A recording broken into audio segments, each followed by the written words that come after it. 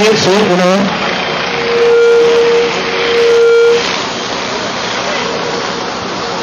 tardes a todos, un año más, un año en las calles. Hoy 12 de mayo de 2013 salimos a la calle en más de 50 ciudades del Estado español, al igual que en otros 15 países. Os hemos convocado en esta plaza, nuestra plaza, la Plaza 15M, la del pueblo, para conmemorar el segundo aniversario del movimiento ciudadano 15M que nació un domingo como este hace dos años. Desde entonces estamos luchando para exigir un cambio global y construir ese otro mundo posible. Solo desde la unidad podremos lograrlo. Por eso, asambleas del 15M y 40 colectivos en lucha del país Valencia, agrupados en todos juntos, os animamos unidos a nosotras para defendernos de los ataques de los gobiernos ilegítimos, de la troika y de los mercados financieros.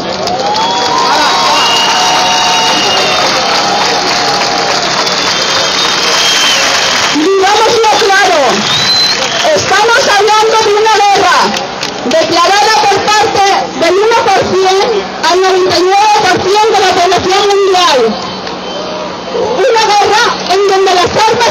emplean son el miedo, los recortes y la pobreza, y cuyos verdugos son los poderosos con la colaboración de sus políticos serviles. ¿Y las víctimas? ¿Quiénes son las víctimas?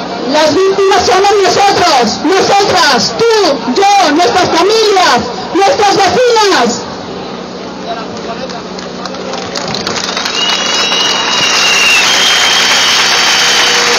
Salimos a la calle porque somos personas que estamos indignadas, cabreadas, enfurecidas, indignadas cada vez que recortan en pensiones, en subsidios de desempleo, rebajan los salarios, suben los impuestos, aumentan la edad de jubilación, suprimen servicios públicos, atacan descaradamente a los funcionarios, desmantelan la sanidad y la educación públicas, cabreadas de ver cómo sigue el dinero para salvar a la banca podrida y no para personas.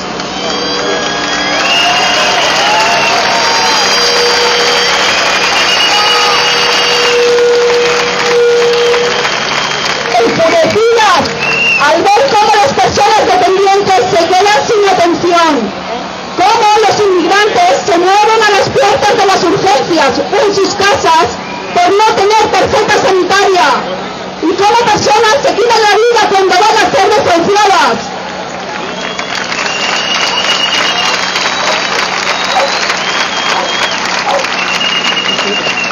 Nos sobran más de 6 millones de razones para estar aquí, en la plaza, para gritar de indignación por las familias que ya no pueden mantenerse y pasan hambre.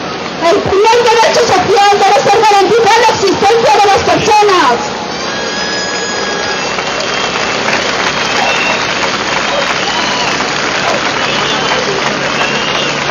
No existe una mayoría silenciosa. Entérense, señor Rajoy está aquí, el pueblo está en la calle, porque hemos despertado y ya no nos creemos despertado.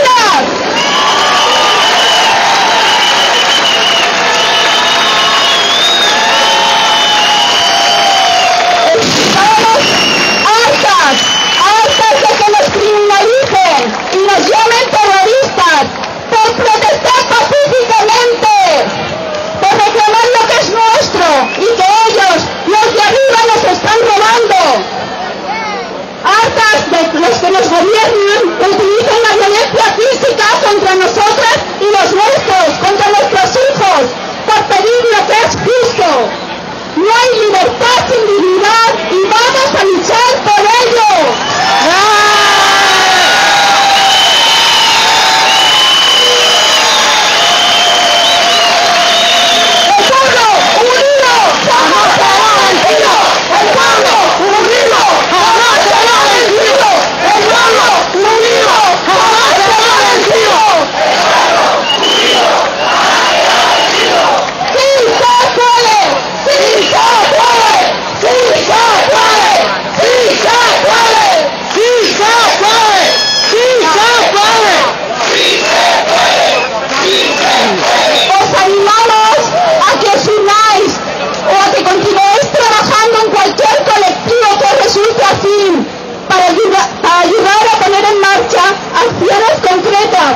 alternativas posibles.